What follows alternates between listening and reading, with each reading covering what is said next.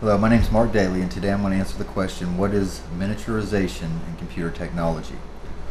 Um, as you probably know, our, our computer devices are getting smaller and smaller and faster and faster.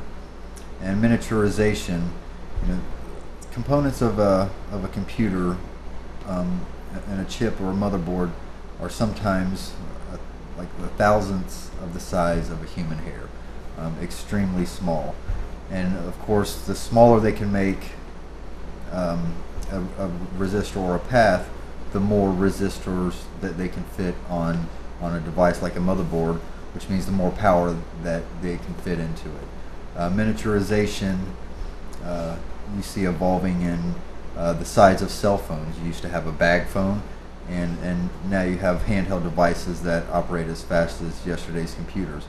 So the miniaturization is is taking us into a world where we have much uh, faster, high speed, more powerful, longer lasting uh, devices in a much smaller format, uh, which is making our electronics extremely portable today.